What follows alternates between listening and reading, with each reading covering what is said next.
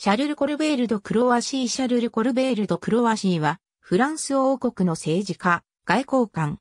フランス王ルイ14世の財務総監、ジャンバティスト・コルベールの弟で、コルベール家出身。兄のジャンバティスト・コルベールと同じく、陸軍卿、ミシェル・ルテリエの下で、西暦をはじめ、1656年にメスの高等法院で顧問職を購入した後、1658年にアルザスのアンタンダンに任命された。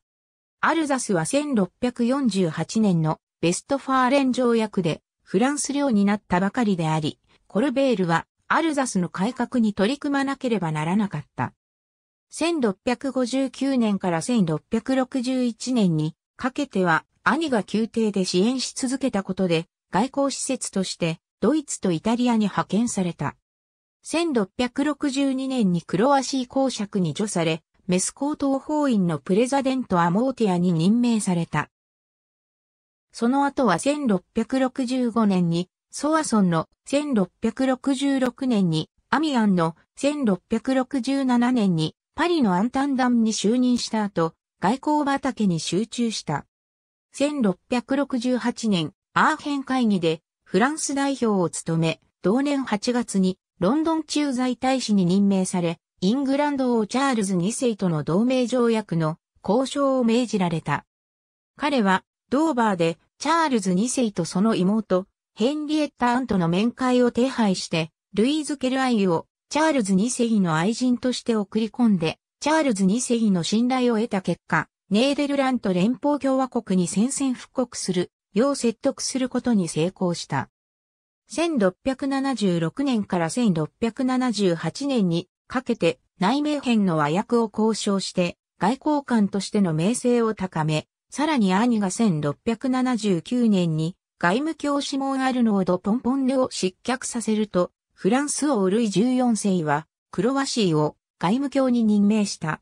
クロワシーはすぐにフランスの外交政策の主導権を握り、戦争を通じずに領土併合を図る統合法廷の設立を提唱した。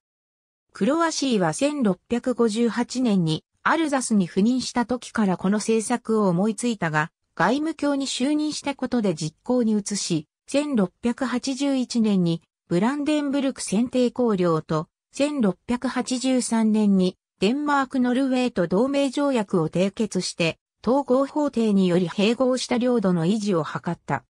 しかし、1685年のフォンテーヌブローの直令によりナントの直令が破棄され、国内が混乱に陥ったため、計画を諦めて1688年からの戦争準備に集中した。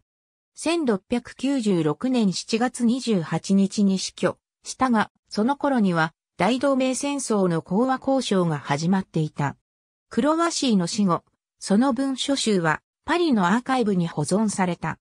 1664年、裕福な銀行家の娘、フランソワーズ・ベローと結婚して、クロワシーの領地を獲得した。二人は三男四女を設けた。ありがとうございます。